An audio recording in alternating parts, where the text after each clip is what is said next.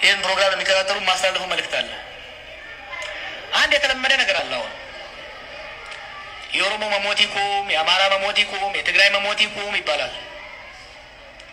ይቁም፣ አዎ። ነገር ግን የኦሮሞ መሞት ቆሞ የአማራ መሞት ሊቀጥል አይችልም። የአማራ መሞት ቆሞ የትግራይ መሞት ሊቀጥል አይችልም። ጥያቄያችን መሆን ያለበት የሁሉም መሞት ይቁም ነው። አንድ እሱ ነው። ሁለተኛ we must admit as society ኦሮሞ እየሞተ ከሆነ ትግሬ እየሞተ ከሆነ ጉሙዝ እየሞተ ከሆነ who is killing us እየተገዳደልን ነው ማለት ነው። ምክንያቱም ከማርስ alien ኦች መጥተው እየገደሉን አይደለም።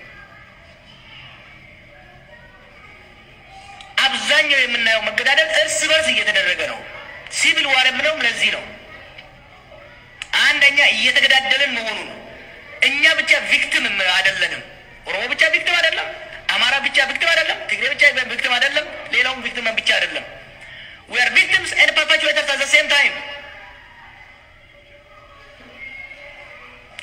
ስለዚህ ጥያቄው መሆን ያለበት የአንድ ቡድን መሞት ይቆም ብቻ ሳይሆን የሁሉም መሞት መቆም አለበት። of course የእነኝን ግድያዎች በማስቆም የመንግስት ኃላፊነት ትልቅ ቢሆንም I don't believe መንግስት ብቻውን ሊያስቆመው የሚችለው አይመስለኝም። እዛ ሀገር ያለውን ችግር አንደኛ የመንግስት capability በጣም ደክሟል። በተለይ ዳያስፖራ እባካችሁ ይሄ እኮ it's not game። ኢትዮጵያ ውስጥ እየሆነ ያለው ነገር ጨዋታ አይደለም፣ ፖለቲካ አይደለም፣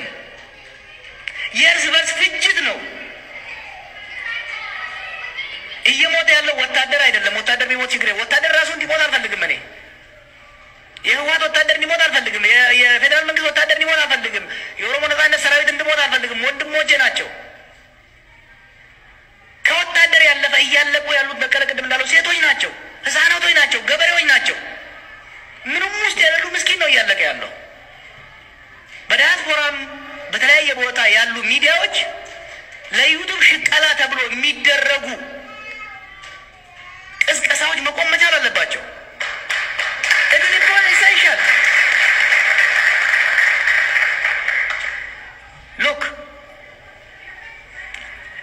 አገር እየሆነ ያለው ነገር ይሄ ጦርነ ጦርነቶች ካልቆሙ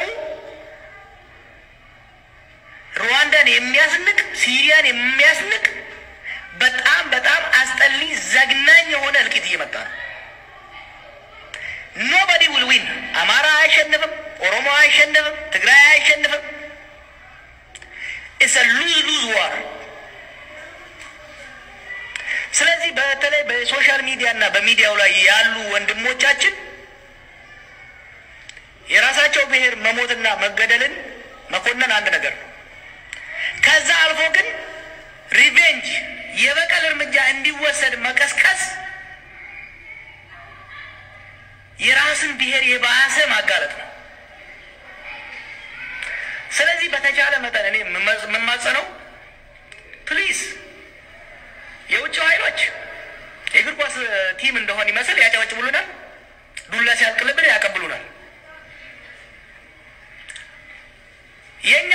በተለያየ ቦታ ያለው safe haven ውስጥ እየተቀመጠ እየነደደ ባለ ሰዓት ላይ ቤንዚን ያርከፈክፋል። people's life at stake። Syria was one of the fastest growing country in Middle East። ዛሬ በእኛ ከተሞች street ላይ ይለምናሉ። የ state መፍረስን ብዙ ትችት ያነሳብኛል of state